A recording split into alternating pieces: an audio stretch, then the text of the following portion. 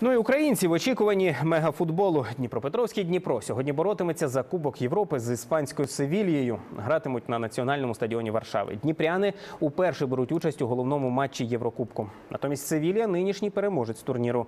Для іспанського клубу це вже четвертий фінал за останні 10 років. Три попередні команда виграла. Вітчизняні клуби у фіналах Єврокубку вдруге за часів незалежної України. Донецький Шахтар став переможцем останнього розіграшу Кубку УЄФА 2009-го. З наступного сезону змагання перейменували у Лігу Європи. У Дніпропетровську в самому центрі міста облаштовують фан-зону, зводять сцену, монтують звук.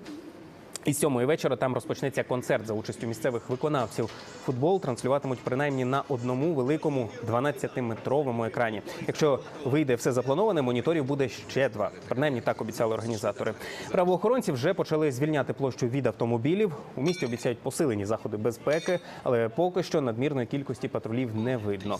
Організатори прогнозують, що подивитися футбол у фан-зону прийдуть від 10 до 20 тисяч уболівальників.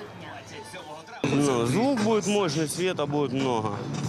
Будет нормальный концерт. Покажут футбол после концерта. Если наши выиграют, будет дальше концерт. Фан-зону обладнали і у Львові. Там футбол масово дивитимуться на проспекті Свободи біля пам'ятнику Шевченку. Як і в Дніпропетровську, тривають останні приготування, монтують сцену, перевіряють світло і звук, обіцяють концерт. А ще різні конкурси. Щоправда, надвечір температура має впасти до 5 градусів, але організатори впевнені, для футбольних фанів це не перешкода.